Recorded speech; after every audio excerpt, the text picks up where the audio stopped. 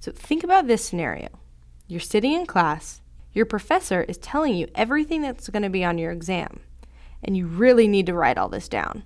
But you forgot a pen, so the girl next to you lends you one.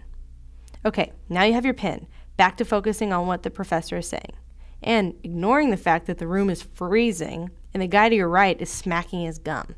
Oh man, there's so much on this slide to write down before the professor moves on. Hurry, write, write, write. But wait, why are people laughing? You look around and you notice that people are looking at a guy standing outside the window with roses and a huge sign that says, I love you, Tori, be mine. The girl next to you said that guy recited a poem using like 10 poster boards while doing interpretive dance. How on earth did you miss that? Well, back to writing before the slide changes.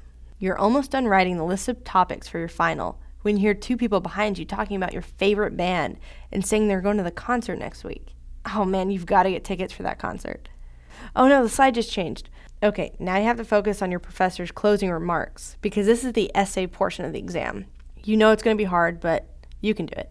Okay, so now class is over. You turn to give the pen back to the girl you borrowed it from, but you notice that she's not there. It's a guy sitting next to you and he's sleeping on his desk. When did that happen?